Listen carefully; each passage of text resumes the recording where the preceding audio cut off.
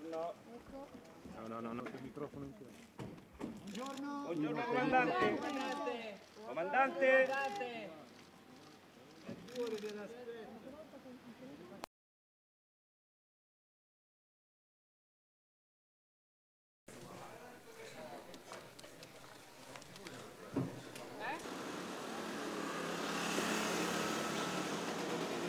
Perché sulla sicurezza in mare, in strada, in, in, in, in volo non si deve derogare e la condizione della Costa Concordia, così come è stata tirata su qualche giorno fa, lo dimostra. Lo dimostra. Su quella sicurezza non si può derogare. Altri episodi erano stati già eh, oggetto di mh, cose simili, diciamo, e sempre con un unico eh, per così dire, regista, tra virgolette, Costa Crociere.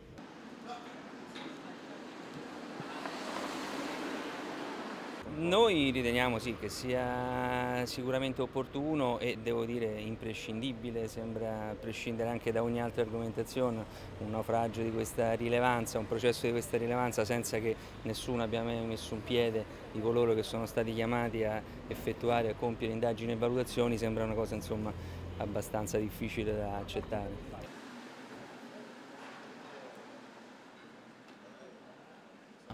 Ma eh, io credo che la, la perizia all'incidente probatorio sia stato esaustivo sotto tutti i profili. Eh, vediamo, il Tribunale ha deciso di risentire i periti per decidere con piena cognizione di causa sulle istanze che sono state fatte, credo che non resti che sentire le risposte dei periti e poi la valutazione del Tribunale in merito.